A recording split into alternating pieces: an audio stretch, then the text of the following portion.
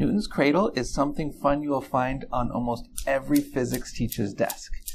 My students absolutely love playing with it.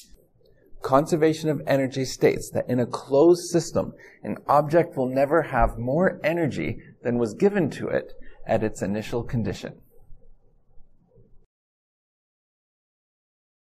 In a collision between multiple objects, the total momentum of the closed system must remain constant.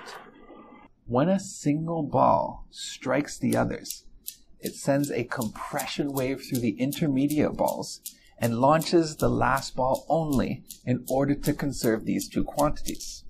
The same thing would happen with two balls, three balls, and even four balls.